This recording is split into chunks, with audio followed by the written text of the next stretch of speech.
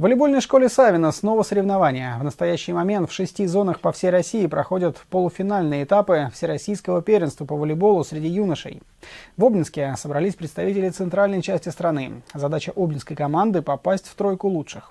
22 марта в Обнинской волейбольной школе Савина стартовали полуфинальные соревнования первенства России среди команд юношей 2003-2004 годов рождения.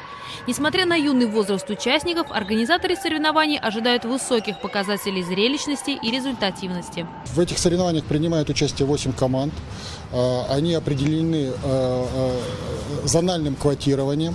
Это команды Москвы, Московской области, города Санкт-Петербурга, города Воронежа, Карелия, э, города Белгорода, э, Калужская область и э, город Обнинск. Соревнования проходят по круговой системе. По итогам полуфинального этапа будет определена тройка лучших команд, которые примут участие в финале первенства России.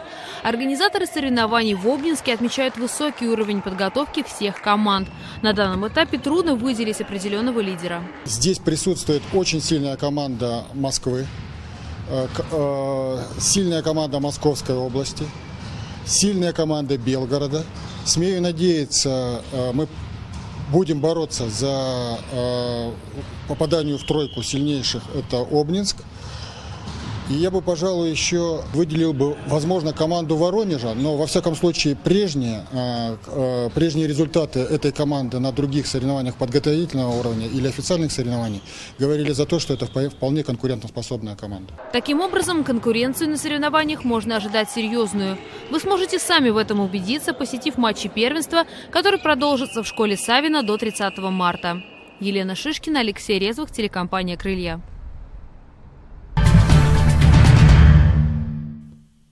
Вчера обнинские юноши в трех партиях обыграли сверстников из Воронежа, а сегодня в упорной борьбе со счетом 2-3 уступили Белгороду. Турнирная борьба продолжается. Воспитанники из Дюшор Савина играют свои матчи в 12.00. Приходите на трибуны и поддержите ребят. На этом все на сегодня. Завтра расскажем о новостях пятницы. До свидания.